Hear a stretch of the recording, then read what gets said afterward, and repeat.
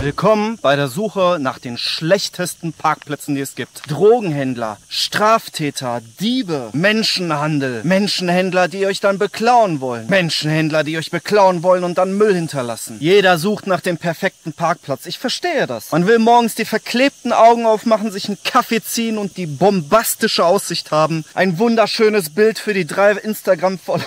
Also wenn das Auto auch nur ein Grad schräg steht, dann ist es die absolute Katastrophe. Das war's. Der Urlaub ist vorbei. Wie schlimm können Parkplätze denn wirklich sein? Das finden wir heute raus. Wir beginnen damit, die Parkplätze bei Park for Night zu suchen. Hier haben wir einen Betrunkenen, der nachts rumgeschrien hat. Zu langweilig. Okay, ich hab was. Unbebautes Grundstück. Bla bla bla. Ich würde hier nicht übernachten. Wurden mit Steinen beworfen. Perfekt. Los geht's. Los geht's. Da wären wir. Boah, was für ein vergammeltes Teil. Unmöglich. Wie kann man hier leben?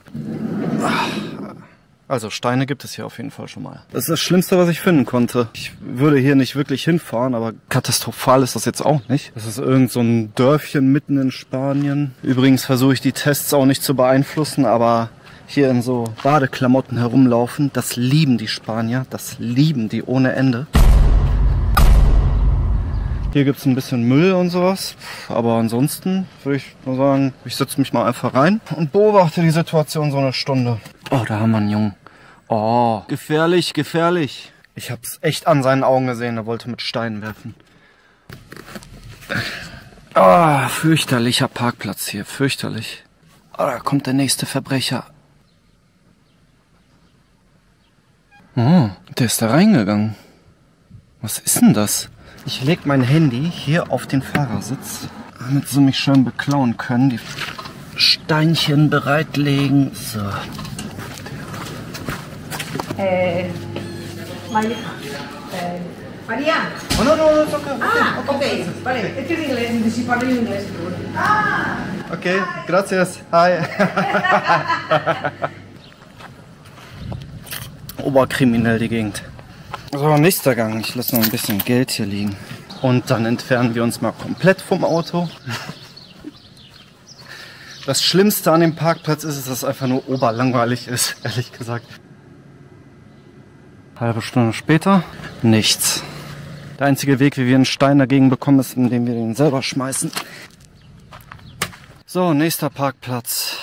Ich habe jetzt extra am Strand gesucht. Es ist echt schwer, schlechte Parkplätze zu finden. Am Strand ist immer die Kriminalität höher. Gefühl absoluter Unsicherheit. Seltsame Bewegung bei den Männern. Ein Mann, der sich hinterm Busch versteckte und uns beobachtete. Hier, 19 Uhr kam die Polizei. Bußgeld von 350 Euro. Das hört sich doch gut an. Aber dahin. So, meine Lieben. Endlich mal was Interessantes. Hier gibt's einen FKK-Strand um die Ecke. Und diese zwei Jungs, die da hinten weggehen, die gucken in alle Fenster rein, ob da Wertsachen drin sind. Das wird interessant, du. Ich muss erst mal gucken, ob ich nicht irgendwelche Wertsachen hier hab. Ich habe keinen Bock, dass sie mir einbrechen.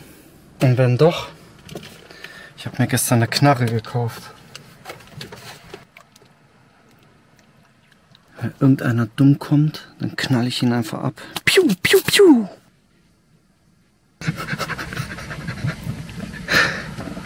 Das hat die Oma gesehen. Oh Mann, war das witzig. Also die zwei Kerle, die die Autos abgecheckt haben, die sind zum FKK-Strand gegangen. Hier könnte es interessant werden.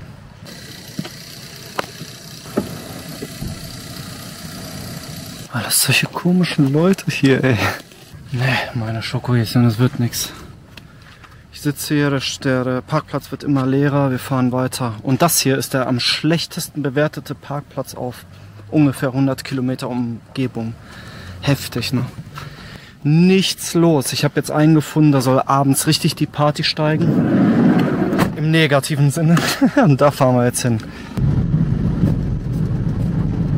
Puh, geschafft. Das ist er. Direkt neben so einer Strandbar. Das ist der zweitschlecht bewerteste Parkplatz. Hier vorne haben wir einen Langzeitcamper, der schon ein ganzes Fahrzeug mit Plan abgedeckt hat. Da hinten ist auch ein Langzeitcamper. Das ist doch eine totale Müllhalde, oder nicht? Das wollte ich haben. Ich bin gespannt, wie es morgen früh hier aussieht. Ob ich überhaupt schlafen kann bei dem Lärm. Hola. Hola. Hi. Llamo a mí, Hi. ¿cómo estás? Hi. Yeah. Ojalá yo tenga una cara para No, no Ya, pues, si no. o sea, de- Where you from? Germany. Germany? Oh, sorry, eh, Eurocop. Alemán, España, España. Sorry. español. Cucorella, paliza, cross. Yo pues subí a hacer un... Line, co- Oh, no, no, no. No, no, no. Okay, thank you. Hier. Welcome to Spain. Hier. Enjoy. Wollte da tatsächlich Ja, das ist echt ein schäbiger Parkplatz, du.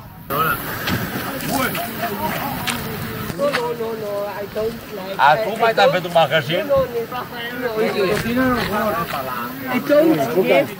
No, no, gracias. gracias. Eh, peor. Peor. Anything for my partner. Buenas noches. Kommst du aus Deutschland? Ja, hi. Tobias. Bin gerade angekommen. Aber jetzt ist vorbei, ne? Jetzt wird der Laden dicht gemacht und jetzt kommen keine mehr, ne? Also wenn du Frieden haben möchtest, du musst in Schweden hinfahren. also Freitag, Samstag ist immer irgendwo was. Und Samstag, Sonntag, Na, oh äh, no, no. I, Brave. I'm, uh, Good have a night. nice, have a nice evening. Good night. Good night. Adios. ich finde es immer lustig, dass die noch so feiern und bei uns kriegen sie alle rum. Und, Andere Mentalität, ne? nein, ich meine, es ist überhaupt so, auch Corona und so. Die hat das alles gewusst, die hat die ganzen Leute wie ein Kohl ausgeschaltet. Bist du ausgewandert oder du fährst nicht mehr nach Deutschland zurück, ne? Ja, ich bin innerlich von Deutschland weit weg. Mir haben sie ein Stück Heimat geklaut. Mit dem. Es ist nicht mehr meine Heimat, weil ich, ich meine, ähm, ich kann es nicht anders sagen. Hat Wie heißt mir Hildegard, Tobias. Tobias. Und du bist auch so ein Weltreiser. Ja, ja, ich, ja, ich treibe mich rum und ziehe immer weiter und guck mir alles an. Verdienst du nichts? Doch, doch. Ich habe meine Erwerbsminderungsrente, aber ich fühle mich beschissen von dem Ganzen. Ich kann nichts kaufen im Supermarkt. Ich muss an jeden Scheiß selber kochen. Wenn ich zum Arzt gehe, sage ich, ja, dann kommen sie mit der Spritzen daher, was? Und ich bin Punkt mehr gekriegt. Oh, Moment. Sorry. Das ist mein. Eh, hola, buenas noches. Hola. Äh, no hablo español. Je parle Allem- français. Äh, un petit peu français. Tu parles un peu, un peu français? Un petit peu. Moi aussi. Moi, je parle muchas français. Habla inglés? Äh, English? No, français. Français, français. Français? Je parle Un petit peu. Non, je parle très bien français. Muchas français. je, un petit peu. Oui? Und Ah. Euh, oui? Attends, tu veux venir? Viens. Viens si tu veux. No. Ja? Wow, was ist das denn für ein Bär? Das ist ein belgischer Hirtenhund oder sowas. Ach, die äh, gehören dazu alle. Ja, ja. Okay. Ja. Was wird denn die Dame? Gehört zu dem Auto, glaube ich. Oh ja, okay. La Gomera, ja, mei, es ist halt wirklich, wenn man es gesehen hat, dann weiß Okay. man, wie es ist. Ich muss da mal hin. Ja, ich war an den Höhlen, ich habe meine Wohnung damals in den Hafen gehabt. Ist nicht ganz ohne alles, also mir hat viel Sachen gestört, das kriegst du halt so nicht mit. Australien haben alle Gene mit verbrecherischen Komponenten sozusagen. Das Aber traurig, ne? Solche gestrandeten Seelen hier. Puh. Sie hat auch noch erzählt, dass der Platz früher viel größer war und dass hier 300 Camper standen. Also wohl schon so eine bekannte Anlaufstelle. Wir haben auf jeden Fall einen richtig beschissenen Parkplatz gefunden. Ich bin gespannt, ob ich hier pennen kann.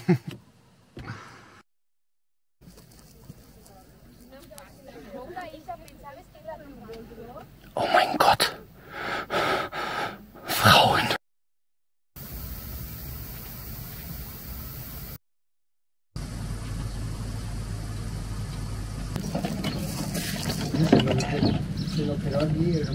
Hast du hier soziale Kontakte? Nur die Leute, die hier auf den Parkplatz kommen, ne? Ich bin froh, eigentlich, wenn ich mit denen alle schon langsam. Die sind einfach deutsch. Die kommen da runter und äh, was soll jetzt? Keine Ahnung.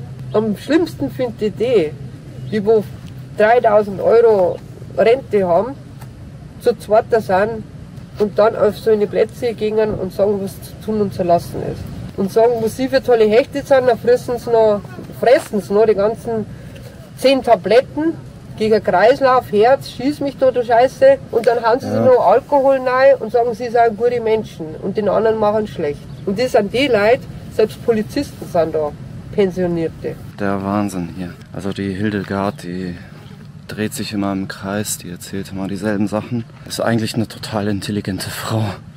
Aber ja, schon traurig, ne? Hat ihr ganzes Leben lang gearbeitet und jetzt äh, existiert sie so vor sich her. Naja, ich suche jetzt nach irgendwelchen positiven Aspekten des Parkplatzes. Geschlafen habe ich interessanterweise gar nicht mal so schlecht. Um 4 Uhr morgens bin ich dann eingeschlafen. Da ist draußen gar nichts passiert, dann habe ich mich auch gut gefühlt. Und hier sind wir am Strand. Das ist schon ziemlich nice. Das ist ziemlich cool. Die Berge im Hintergrund, der Strand hier. Aber ansonsten ist der Parkplatz leider echt so eine Abstellkammer für verlorene Seelen. Boah, heftig. Aber die sind nett, muss man wirklich sagen. Es ist hier auch mega schön windig. Ich habe heute Morgen gar nicht gemerkt, wie die Sonne auf mein Auto draufgeballert hat, weil der Wind die Hitze einfach abgetragen hat. Die Leute auf dem Parkplatz kümmern sich umeinander. Ich muss ehrlich sagen, dass ich mich mittlerweile auch ziemlich sicher fühle dort. Ja, ich denke, mehr wird hier auch nicht passieren. Alles, was hier passieren kann, haben wir bereits erlebt. Dann würde ich vorschlagen, fahren wir weiter. Ne? Ich quatsche jetzt noch mal kurz mit Hildegard. Ich stecke ihr ein bisschen Geld zu. Sie sagte auch, dass mit dem Geld wird langsam knapp bei ihr. Aber dann fahren wir weiter. Geil, geiler Parkplatz. Also geil im Sinne von schrecklich. Aber mal gucken, ob wir noch was Schrecklicheres finden. Ich finde das so geil, dass wir eine kaputte Box hier nehmen, alles zerklumpt. Hast du einen Plan für die Zukunft? Nein. Gar nicht. Mein, mein Spruch ist, jeden Tag mein Spruch, Life is made of small moments like this. Der Moment, wo ich jetzt habe, habe ich. Ja. Und das andere, ich denke nicht mehr an die Zukunft, weil wenn ich an die Zukunft, Du stehst ja jetzt wesentlich besser da als zum Beispiel die totale Obdachlosigkeit oder sowas, ne? Wenn ich nach Deutschland bin, dann bin ich obdachlos. Ich versuche mir immer das geringste Übel in Kauf zu nehmen. Das ist das einzige Argument, was ich habe. Ja. Es geht um die Zahlen.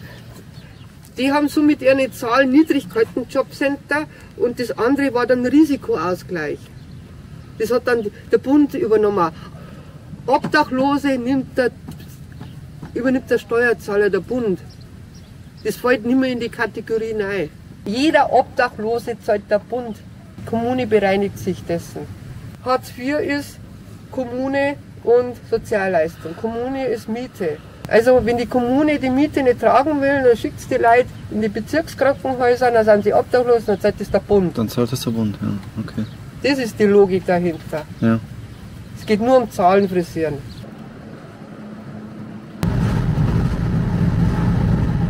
So, als nächsten Parkplatz habe ich mir den besch Parkplatz rausgesucht, den ich in vier Jahren Vanlife hatte. Stellt euch vor, ihr fahrt rüber nach England, kommt runter von der Fähre, seid total übermüdet. Der ganze Straßenverkehr ist auf der falschen Seite. Es ist dunkel wie sonst was und ihr wollt einfach nur noch pennen gehen. So, ganz England besteht quasi nur aus Privatgrundstücken. Es gibt keine öffentlichen Parkplätze. Also wo musste ich mich hinstellen?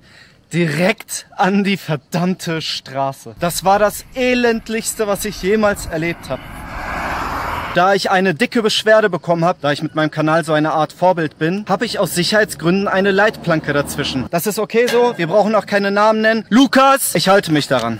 Oh, es ist total traumhaft. Guckt euch das an. Oh, jedes Mal, wenn ein Auto vorbeifährt, wackelt meins ein bisschen. Die Reifengeräusche sind wie das Rauschen des Meeres. Ich bin wie der Captain meines eigenen Bootes. Man kann seine Angel rausholen, vielleicht fängt man ja irgendwas. Ein nettes Buch lesen, was will man mehr? Es ist sogar noch viel besser als auf dem Boot, weil man kann sich einfach hier raussetzen. Im Wasser geht das natürlich nicht. Und der absolute Bonus ist, manchmal halten Autos an und bieten einen Geld an. Voll geil. Aber ich bin jetzt eine halbe Stunde hier, ich habe schon Kopfschmerzen. Nein, ich habe natürlich gar keine Kopfschmerzen, weil der Parkplatz so geil ist. Wenn euch das gefallen hat, dann empfehle ich euch erstmal hier zu schlafen. Das ist super. Es ist auch ganz und gar nicht gefährlich. Nein. Wenn was passiert, dann kriegt man es eh nicht mit, weil man von zwei Tonnen weggewämst wird. Miau. Mau. Ne, jetzt mal ernsthaft. Stellt euch niemals an die Straße. Das ist mega gefährlich. Wie viele Leute von den Autos erfasst werden, nur weil die an der Straße entlang laufen. Schlafen könnt ihr gar nicht. Ich war so gestresst. Das ist doch das hässlichste Geräusch auf dem Planeten. Diese bekackten Reifen da. Oh, da kommen noch mehr. Ey. Ich kann nicht mehr. Okay, ne, ich, ich gehe echt kaputt hier. Ich muss weg.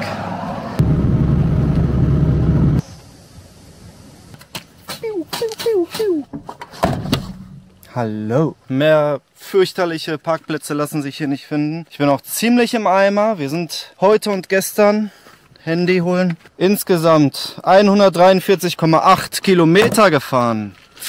Da kann man mal sehen, ich fand den dritten Parkplatz eigentlich gar nicht so übel. Im Gegensatz zum vierten Parkplatz. Wenn ich mir vorstelle, ich müsste jetzt die Nacht an so einer vielbefahrenen Straße stehen. Vielleicht ist es meine Achillesferse aber das bringt mich um. Ja, und mehr schlechte Parkplätze gibt es nicht. Vielleicht muss ich das nochmal wiederholen. Eine Sache möchte ich noch anspringen. Eine Sache will ich noch anspringen. Das Geld, das ich der Hildegard gegeben habe, das kommt aus meiner eigenen Tasche, nicht aus eurer Tasche. Das Geld, das ihr mir spendet, das geht direkt in die Videos rein. Ich nutze das gespendete Geld nicht für eigene Zwecke und ich werde das nicht unter irgendwelchen Leuten da draußen verteilen. Das will ich nicht und ich denke, das wollt ihr auch nicht. Dankeschön an Martin1206. Äh, Hyacinth86, ist das richtig ausgesprochen? Ich weiß nicht. Mr. Brunkos und Olaf Vierbeck 3174. Oh mein Gott, meine Zunge. Mua. Mua. Ihr werdet bald sehen, wofür ich das Geld ausgebe. Das ist genial. Ich freue mich da schon richtig drauf. Aber nicht jetzt. Ich hoffe, euch hat das Video gefallen. Heute ist Samstag, morgen ist Sonntag, morgen kommt es raus und ich muss das alles noch schneiden. Nee, Quatsch. Ich habe ein ganzes Team, die für mich arbeiten. Die machen alles. Pff, ich gehe sofort pennen.